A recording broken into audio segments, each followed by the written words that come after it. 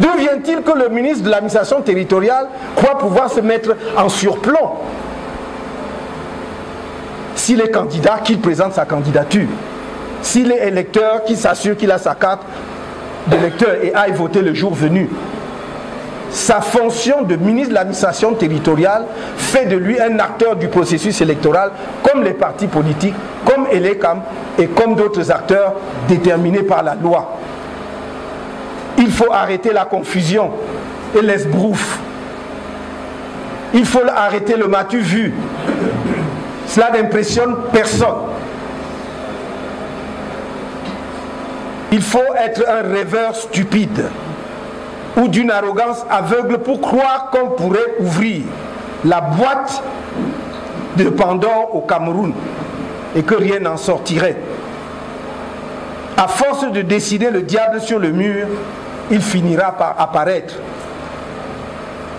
Que ceux qui croient qu'ils peuvent craquer une allumette dans une usine à gaz et en sortir vivant se détrompent. On mourra tous dans cette usine à gaz. C'était lui donner du MRC, le mandataire du MRC, c'était lui donner une chance de rentrer dans le jeu républicain.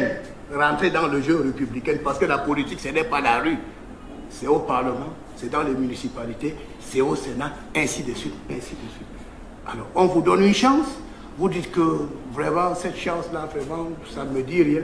Et après, on se réveille le matin pour dire que, oh, bon, vraiment, nous, on va mourir. Et c'est que, non, il va aller mourir seul. Personne ne va l'accompagner dans sa tombe. Il n'a pas vraiment besoin de 2025 pour mourir. Il y a les cordes qui se vendent dans les marchés partout. Vous n'avez pas besoin d'attendre 2025. Il faut vraiment, c'est une mise en garde claire. Les autorités administratives sont là pour encadrer les activités politiques. Voilà, il faut que ça soit clair. Donc ils peuvent apprécier pour dire que maintenant ça peut aller, maintenant ça peut ne pas aller, ainsi de suite. Alors, nous sommes pour le respect de la loi. La loi doit être respectée. D'ailleurs, j'ai vu que ce député qui parle d'un candidat a plutôt dit qu'il plaidait pour un candidat du RDPC. Je ne sais pas si vous avez vu la vidéo comme moi. Donc vous voyez que même Dieu Tout-Puissant, quand on veut tricher, vraiment, même Dieu ne peut pas accepter. La réalité est qu'il y a un monsieur qui a déclaré qu'il va boycotter les élections, avec pour conséquence boycotter donc la chaîne présidentielle et tout ça. Donc aujourd'hui, tout ce qui va seulement faire, bon, on se dit que bon, vraiment, 2025 c'est mauvais, peut-être dans 10 ans, je peux revenir si j'ai la chance. Mais même si vous voulez venir dans 10 ans, commencez à vous préparer aujourd'hui. Commencez à vous préparer aujourd'hui. Et je vais terminer sur autre chose. Un deuxième parti politique, on me dit qu'il y a une polémique sur le leadership d'un parti politique. Il n'y a pas de polémique. Il s'agit de quelqu'un qui a créé son parti politique. Et il a permis à quelqu'un d'autre de se servir de son parti politique pour aller à l'Assemblée.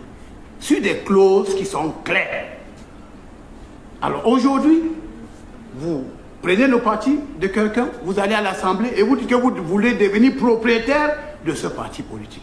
Mais je vous pose là que nous avons les nounous dans nos maisons. Les nounous sont là pour garder les enfants. Donc vous voulez dire que la nounou va dire que c'est déjà mon enfant?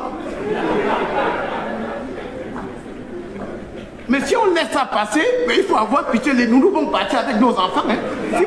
Si, on laisse cette affaire passer là, il faut vous méfier des nous. C'est ça, parce que c'est. La nounou est là pour garder l'enfant. Alors, vous devez garder l'enfant, après vous dites que non, c'est moi, je suis devenu euh, le père de l'enfant. Non, ça ne peut pas. Nous sommes capables de perturber tous les meetings du RDPC. Il faut que l'administration le sache. Et ceux qui veulent que le pays s'embrase en porteront l'entière responsabilité. Ils ne sont pas plus camerounais que d'autres. Nous ne sommes pas un peuple couché. Nous ne sommes pas des dirigeants à plat ventre. Nous sommes des hommes et des femmes responsables, respectueux des institutions de la République, lesquelles doivent nous respecter, non seulement comme citoyens, mais comme responsables de formation et partis politiques prévus par la Constitution pour accompagner les élections dans notre pays. Nous ne demandons rien. Nous ne demandons aucune faveur. Nous demandons le respect et l'application stricte des lois de la République. Le veuillent ou pas, que cela leur plaise ou pas, ils ne perdent rien pour attendre. Car quand viendra le moment de déployer nos activités, je peux les assurer que nous les déploierons. Alors, nous les déploierons, quel que soit ce qu'ils feront. Parce que s'ils veulent justement qu'on passe par des cases, s'ils veulent que l'on passe par les cases que nous voulons à tout prix éviter, que nous essayons d'éviter depuis dix ans, alors croyez-moi, on ira. Ça suffit. Ça suffit. Il faut respecter les Camerounais.